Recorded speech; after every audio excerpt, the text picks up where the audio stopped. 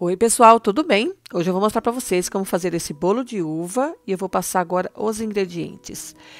Essa receita eu peguei do canal Vovó com seus netos na cozinha, tá?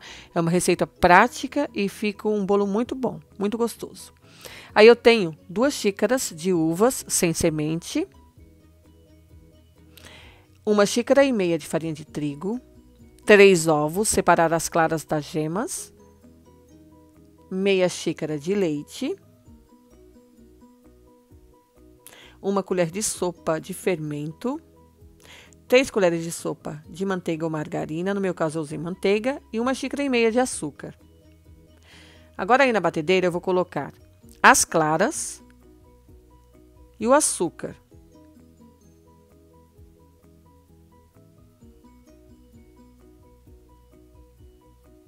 E vou bater mais ou menos uns três minutinhos. Quando estiver nesse ponto, a gente vai colocando as gemas, assim devagar, uma por vez. Deixa bater bastante. E já pode colocar a manteiga também.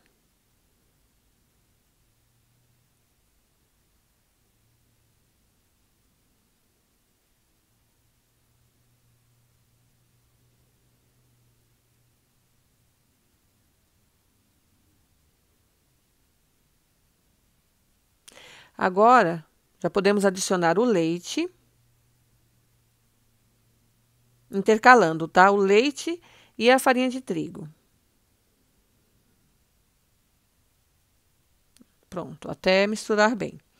Por último, o fermento.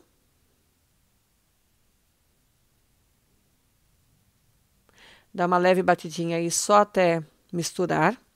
E aí, no refratário, em uma forma untada, coloca toda a massa. Agora coloca as uvas, assim mesmo, olha, vai colocando assim por cima da massa.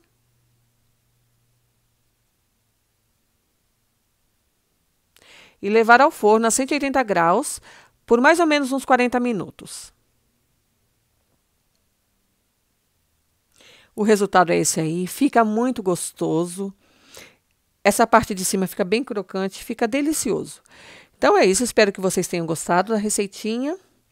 Um beijo para todo mundo, fiquem com Deus e até o próximo vídeo. Tchau!